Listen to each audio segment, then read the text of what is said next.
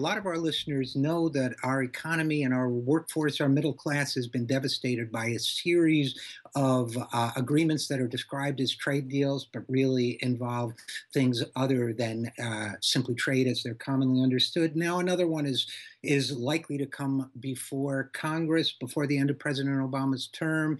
Here to talk about that and now with us is Lori Wallach. Lori is the director of Public Citizen's Global Trade Watch. She has held that position for more than 20 years. She's an expert in the operation and outcomes of these trade kinds of trade deals or policies, NAFTA, WTO, fast track, all of that stuff. She knows it inside and out, and she joins us now. Lori, thanks so much for coming on the program.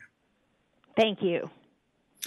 Uh, listen, the big development right now in in the the uh, latest trade agreement has been, uh, which is, um, well, we'll talk about it in a second. But there's a new report on it from the International Trade Commission. First of all, if you would, in your own words, just briefly describe the deal, and then we can talk about the new report. Um, what is it we're likely to see voted on, perhaps in the lame duck session of Congress this year?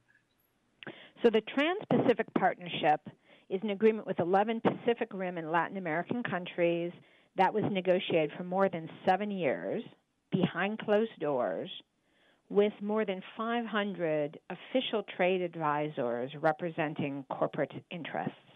A final deal was reached in October and the text was made public in November. And what was revealed was what was called a trade agreement, but what actually is an incredible basket of rigged rules and new rights and privileges for corporations that would elevate formally their power relative to countries, to all of us who live in those countries. And this new study basically shows that just like most of the TPP has nothing to do with trade, but it has to do with increasing corporate power, the TPP has very little upside for trade and lots of potential job loss and economic sector damage downsides. So, this new government report by the International Trade Commission is sort of the official U.S. government projection of what this means for the economy, and it was grim. So, uh, you know, it's funny, I didn't see a lot of headlines about this when it came out. Uh, it's not like they publicized it. So, when you, you, you say it's, and, and, understandably so, since it doesn't buttress their argument, but um, when you say it's grim, what do you mean? Give us some examples, well, if you would. Yeah, first, let me just give you a little context. The ITC is an independent agency, but traditionally its reports on trade agreements have had these incredibly positive projections. And part of the reason why is they use a particular kind of methodology in doing their studies that basically creates some certain economic artifacts as data, but that makes a lot of assumptions that are just absurd. So their model of, of, of estimating trade agreement benefits, just to put in perspective, said that NAFTA would increase our small trade surplus pre NAFTA with Mexico. And of course, as you know, we have over a $100 billion trade deficit with Mexico under NAFTA. Or they said the China trade deal, you know, oh, it'll only increase our trade deficit with China by $5 billion. And instead it's increased it by $150 billion. So these guys are always in how they do their studies because they presume things like full employment, no increase in the trade deficit, and a lot of things that just make no sense. So when they do a projection like this one, where they show 36 of 55 economic sectors that they studied manufacturing, services, energy, natural resources would all suffer declining trade balances if the TPP were implemented. You know we are in deep, deep trouble under this agreement. If the ITC is that bad, Nellie bar the door about what this is really going to mean. So, in other words, just to you know, just to recap, Lori Wallach. So they stack the deck outrageously, is what you're saying in favor by their assumptions in favor of these trade deals. But despite stacking the deck, the American people lose the card game big time on this deal. Bingo. Yeah, all right. So, so in in many many sectors, even according to this wildly optimistic misprojection, in many many sectors, uh, the American people lose out on trade. Overall, the American people lose out on trade under this deal. That's what that's what we're getting out of this. And uh, so, what this I guess what this should say is that there's no way that uh, everybody talks about how everybody who supports these deals, including the president, say, well, you know, we can't.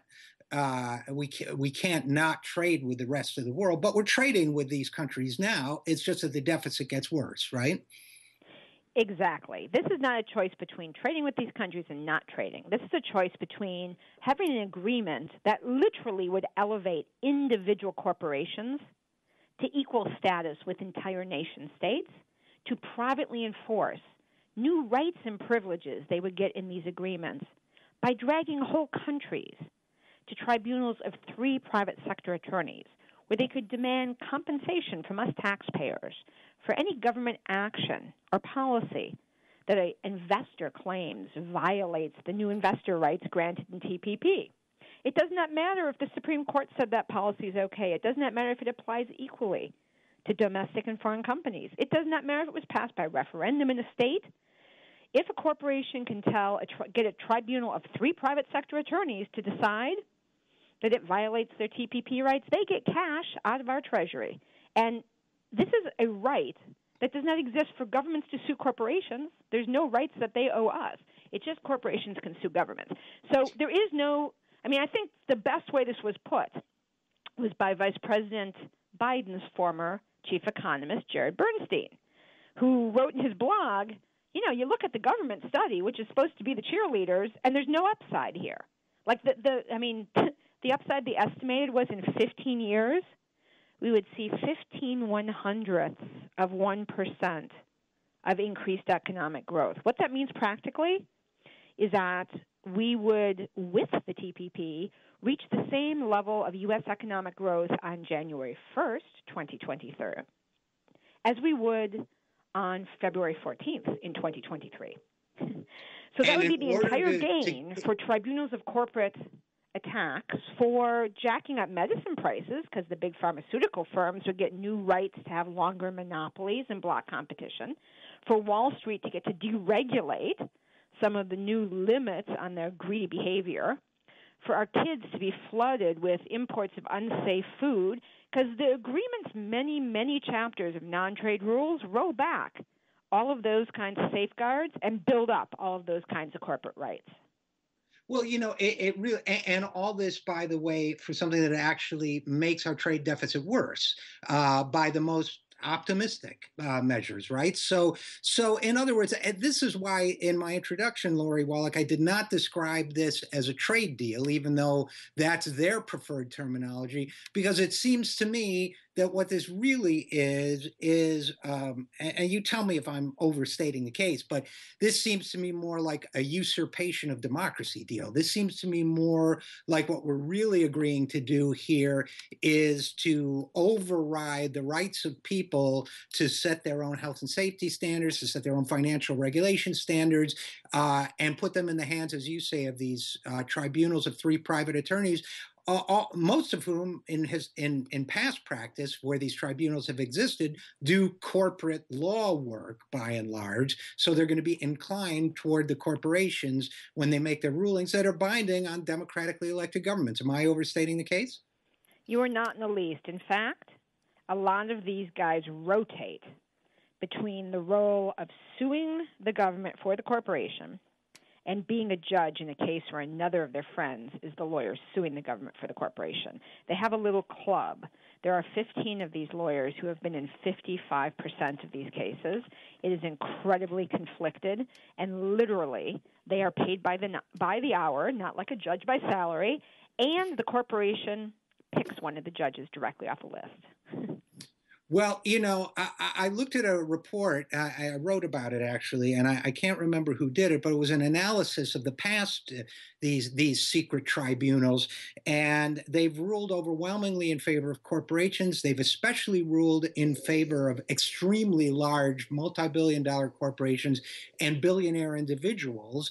And these lawyers have made tens of millions of dollars off it. So why, you know, why aren't people more outraged about it? Why isn't it a slam dunk that the American people and their representatives in Congress are going to vomit this thing out when it comes up for a vote? I think that number one, a lot of Americans do not know about the TPP in general and certainly don't know that at its heart, it's this outrageous investor corporate tribunal scandal. People just don't know. And number two, part of the reason they don't know, and this is this debate that should be a huge public debate, is happening largely under the radar, is because the issue's been largely shut out of the mainstream media. I mean, imagine the notion of an entire nation state being dragged before three private attorneys, no conflict of interest laws, and by the way, these decisions are not subject to outside appeal. So you literally elevate an individual investor to the level of a nation state to privately enforce a public treaty in front of three private corporate attorneys whose decisions are not appealable. And there have been billions of dollars ordered paid out. And does anyone hear about these stories? I bet more people know who the Kardashians are than what the investor state dispute resolution system is. In fact, I'm certain of it. Oh, I so think by a factor of a, have thousand, probably. So, uh, so what can people do? What can we do? I mean, obviously, the TPP we means jobs, and Americans yeah. just have become basically are unaware of what it really is about, and that's all of our jobs.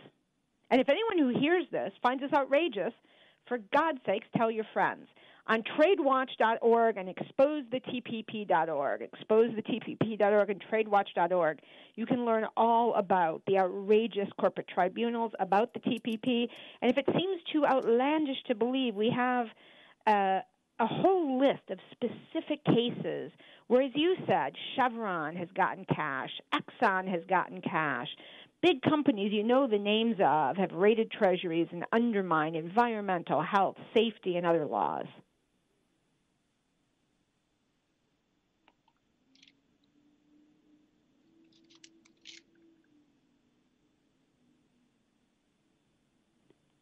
Okay, so we have uh, so we have a situation here where uh, where really what are called trade deals are deals that how do we put it that that overrule democracy itself and that create these privatized tribunals corporate tribunals that give our money to exxon and chevron and corporations like that?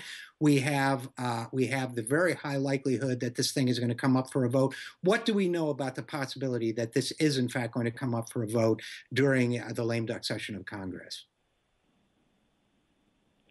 I think that the administration is hell bent on having this vote, and they are under the radar, quietly flying cabinet secretaries all over the country and flying target members of Congress all over the world on Air Force One. Two of their targets were on the trip to Asia just now with the president. And they're trying to line up a majority of votes to have a vote in the lame duck session after the election so that the retired and the newly fired, those who lost their elections, will have the ability to vote not being accountable to their constituents. Even under the scenario of a lame duck vote, if we all do our jobs right, they will not have a majority. This is a fight in the House of Representatives, it's not in the Senate. So the thing everybody needs to do, and right this week coming up is Memorial Day recess. All the members of Congress are home for the next 10 days. We all need to get with our member of Congress member of the House of Representatives, not the senators, whether a Democrat or Republican, grab them at a Memorial Day parade, hold onto their hand, do not let go, eyeball them, and say, Will you commit to me to vote against the TPP? It's really important to hear from a lot of people everywhere they go. Will you commit to me to vote against this thing? And I will commit to you, I will be watching you. Right? There you have it. All right. Well, Lori Wallach, uh, director of a Public Citizen's Global Trade Watch. This is a critical fight. This could be a fight for for God knows millions of jobs and and the independence of our own democracy and our right to regulate our health and safety. So, thanks for fighting the good fight, and thanks for coming on the program. Thank you. Bye bye.